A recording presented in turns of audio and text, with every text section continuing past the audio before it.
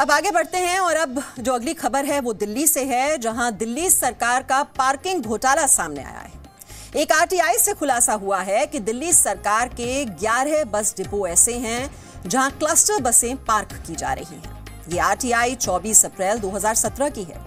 इसके मुताबिक दिल्ली सरकार के 11 बस डिपो में 1650 क्लस्टर बसें खड़ी की जा रही हैं। ये क्लस्टर बसें प्राइवेट ऑपरेटर्स चलाते हैं। जबकि प्रदूषण और बसों की कमी से जूझ रही दिल्ली के लिए केजरीवाल सरकार ने नई बसें नहीं खरीदने के पीछे ये तर्क दिया था कि इलेक्ट्रिक बसें खरीदनी थी।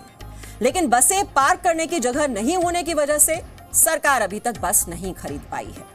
आरटीआई कार्यकर्ता संजीव जैन का आरोप है कि दिल्ली सरकार और प्राइवेट ऑपरेटर्स के बीच साठ गांठ की वजह से बसें सरकारी जगह में खड़ी की जा रही हैं।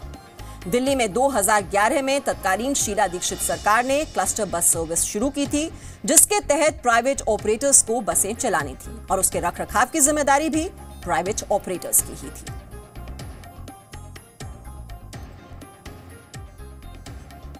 दिल्ली के अंदर बस डिपो हैं। उन बस डिपो में प्राइवेट कंपनियों की क्लस्टर बसें कितनी खड़ी हो रही हैं? तो दिल्ली सरकार के साथ के पास से जो मेरे को रिप्लाई मिला ये जवाब उसमें। ये जो रिप्लाई आया उसमें ये बताया गया कि दिल्ली के अंदर दिल्ली सरकार के जो 11 बस डिपो ऐसे हैं जहाँ पे प्राइवेट कंपनियों की क्लस्टर बसें खड़ी होती हैं। हर डिपो के अंदर अंदर अंदर अलग अलग क्वान्टिटी है किसी में कितनी बसें किसी में कितनी। तो टोटल देखा जाए तो तकरीबन दो हज़ार के आसपास बसें उसके अंदर खड़ी होती हैं। ठीक है ये आरटीआई हम आपको दिखाना चाहेंगे। आप देखिए ये जो जवाब है इसका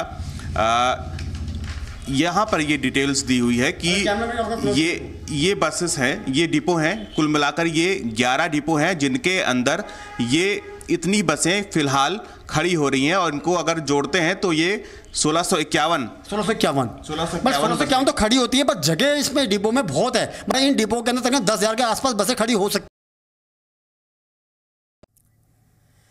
तो वजह यह बताई गई थी कि जो इलेक्ट्रिक बसें हैं, वो दरअसल इसलिए नहीं खरीदी गई क्योंकि पार्किंग स्पेस नहीं है। और ये आरटीआई से खुलासा हुआ है कि दिल्ली सरकार के 11 बस डिपो ऐसे हैं जहाँ पर क्लस्टर बसें पार्क की जा रही हैं। ये हम आपको एक बार फिर से बता दें, ये जो आरटीआई है, ये 24 अप्रैल 2017 की है। इसके मुताबिक दिल्ली सरकार के 11 बस डिपो में 1650 क्लस्टर बसें खड़ी की जा रही हैं। और ये क्लस्टर बसें प्राइवेट ऑपरेटर्स चलाते हैं। जबकि प्रदूषण और बसों की कमी से जूझ रही दिल्ली के लिए केजरीवाल सरकार ने नई बसें नहीं खरीदने के पीछे तर्क ये दिया था कि इलेक्ट्रिक बसें खरीदनी थी, लेकिन बसी पार्क कहाँ की जाए, उसके लिए जगह नहीं थी।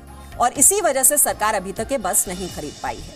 आरटीआई कार्यकर्ता संजीव जैन का आरोप यह है कि दिल्ली सरकार और प्राइवेट ऑपरेटर्स के बीच साठ गांठ है। और इसी वजह से ये जो बसें हैं, वो सरकारी जगह में खड़ी की जा रही है। दिल्ली में 2011 में तत्कालीन शीला दीक्षित सरकार ने ये क्लस्टर बस सर्विस शुरू की थी, जिसके तहत प्राइवेट ऑपरेटर्स को ये बसें चलानी थी और जो रखरखाव की ज़िम्मेदारी थी, वो भी प्राइवेट ऑपरेटर्स की थी। तो पहले ये ग्रीन टैक्स वसूला गया और जो पैसे उससे इकट्ठे हुए जहाँ पर उनका इस्तेमाल होना था, वहाँ पर नहीं किया गया और अब ये पार्किंग घोटाला निकलकर सामने आया है।